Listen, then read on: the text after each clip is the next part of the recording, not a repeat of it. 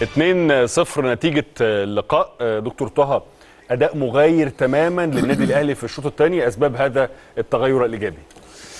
أول أول أسباب لي أول مرة يعني مارس- مارسيل كولر يغير في هذا التوقيت تقريبا يعني والله أعلم. يعني معظم تغييراته كانت ساعة 70 الأخير حاجة و60 70 مثلا وحاجات كده. زي كده. آه. لكن هو يغير ثلاث تغييرات في بداية الشوط الثاني.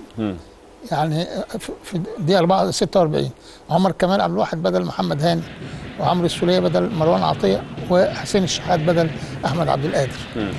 والغريب في الأمر انه الناس اللي نزلوا طبعا يعني غيروا مجرى اللعب تماما. شفنا الهدف الأول من التسديده اللي عملها إمام عاشور ارتدت لسولية سجل منها. سولية طبعا مشهور بتسديداته على المرمى.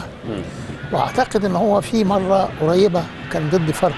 أيوة. النادي النادي الاهلي كان متعادل واحد واحد كان فاضل حوالي خمس دقائق الدنيا مقفلة. نزله في الخمس دقائق الاخيره صحيح. سجل هدف الفوز. صحيح. في الزحمة عملها بشكل. ففي مباراته مع طلائع الجيش اللي فاتت برضه سجل الهدف الثاني. آه، الداخلية. الداخلية. آه. لا طلائع الجيش. طلائع الجيش طلائع الجيش آه. سجل الهدف الثاني كرة مرتدة سجلها في اللي هو. برضه اربعه آه السولية آه سولية صح, صح. آه. فهو أدي واحد من العناصر اللي مهمة جدا لأن عنده حاسة التسديد والتسجيل. معانا جون بالظبط. آه.